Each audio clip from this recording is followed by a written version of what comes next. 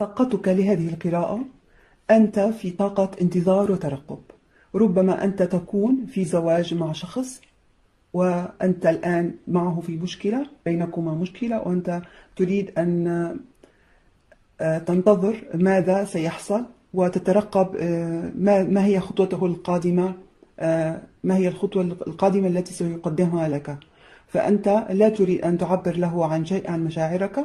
وربما أنت فقط تنتظر ماذا سيحصل منه. فأنت معجب به وعندك طاقة كبيرة تجاهه ولكنك لا تبدي أي مشاعر في هذه الفترة. سوى الترقب والانتظار.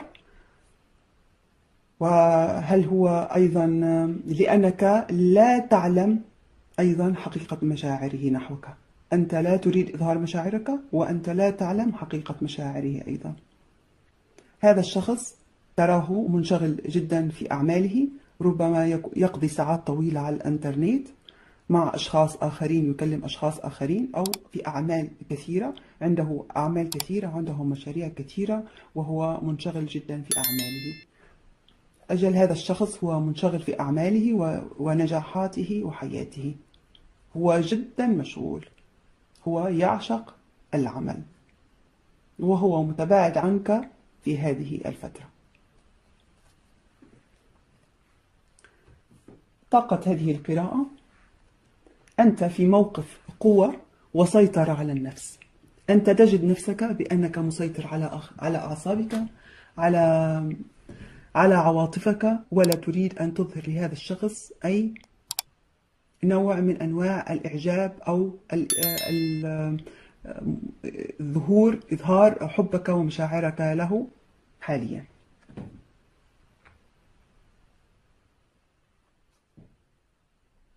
الحبيب هو في موقف أيضا في موقف قوة.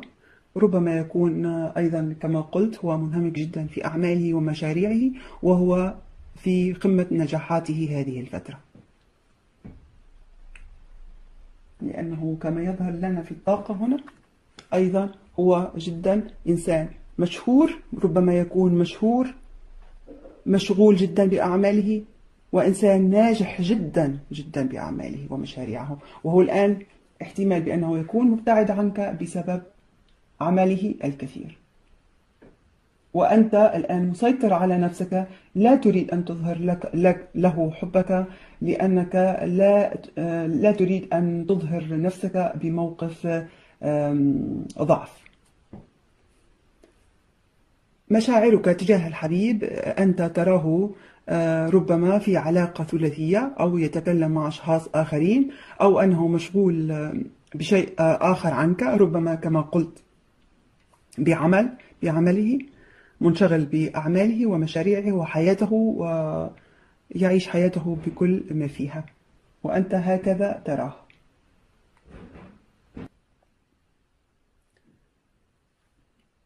الحبيب يراك بأنك أنت توأم لروحه. يحبك كثيرا. ويتمنى الرجوع إليك إذا كنتما منفصلين. وإن كنتما متباعدين أو تعرفتما على بعض عن طريق السوشيال ميديا لأني كما أرى هنا وراقب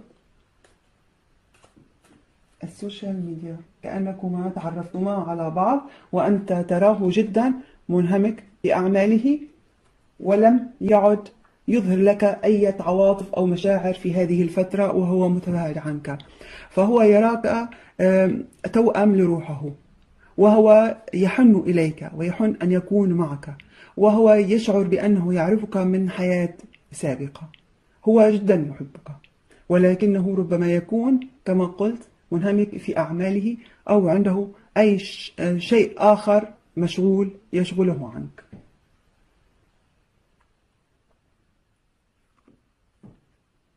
نوايا هذا الحبيب؟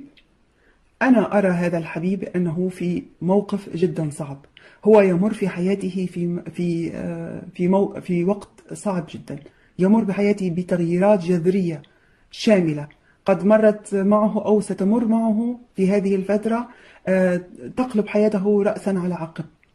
آه، ربما تكون سلبية أو ربما تكون إيجابية وهو الآن مشغول جدا.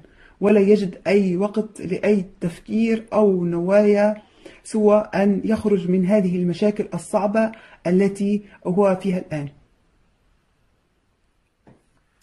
فأنا أرى بهذه الكروت ربما يكون لهذا الشخص عنده سحر في حياته أو أو حسد أو أي شيء من الأعمال السيئة التي في حياته. لأني أرى هنا ثلاث بطاقات وهذه تدل احتمال كبير بأنه بأنه هو في وضع صعب الآن. هو يحن إليك جدا للرجوع وينوي ويحبك جدا ويراك الصلمت ولكن هو في وضع الآن في وضع تغييرات جذرية في حياته وهو يريد في هذه الفترة الخروج من هذا المأزق أو هذه المشاكل التي هو بها.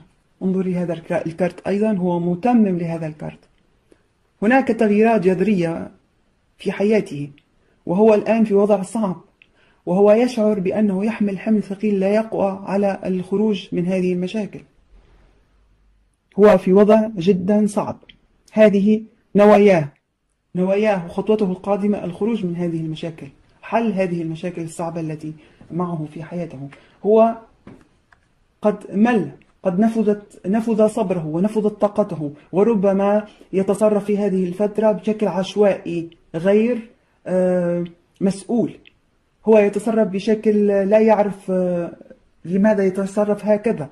احتمال بأنه يخطئ في هذه الفترة معك أو فأنت الآن مبتعد وتسيطر على على عواطفك تجاهه لأنك ربما قد أخطأ بحقك وأنه قام بعمل ما معك أبعدك عنه هذه الفترة. فهو لا تلومه هو في وضع نفسي صعب. ربما قلت سحر أو حسد أو أو أعمال أو أي شيء من هذا القبيل. تنصحنا هذه القراءة بأن يطلب المساعدة من رجل يثق به. هذه النصيحة لهذا الشخص إذا كان حبيب برج الأسد. آه، يسمعني فهذا فهذه النصيحة لك. آه، اطلب المشورة أو المساعدة من رجل دين. فهذه الم... فهذه النصيحة ليست لك برج القو... آه، برج الأسد. أنت في وضع جيد ومسيطر على نفسك وأنت في طاقة جدا جيدة. ولكن هذا الشخص هو في طاقة صعبة. يجب أن يسأل آه، أحد رجال الدين الموثوق بهم آه، لحل هذه المشكلة. سنأخذ نصيحة.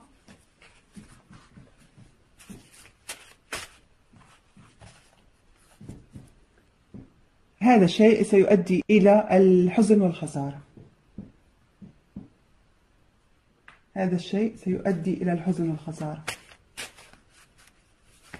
ربما هناك أشياء في حياتي في حياة هذا الشخص قد تغيرت بسبب ربما بسبب أحد الأشخاص في حياته دخل على حياته شخص معين امرأة أو أي شخص دخل على حياتي بهدف المرح والتسلية والحب ولكنه قد غير حياته و وهذا الأمر قد عمل بينكم مشكلة بسبب هذا الشخص وهذا الشخص قد الالتزام معه بهذا لهذا الشخص سيؤدي إلى الحزن والخسارة أو ربما بسبب الأعمال والأسحار التي تعرض لها سيؤدي إلى الحزن والخسارة. تقول لك هذه البطاقة احذر فالحذر واجب.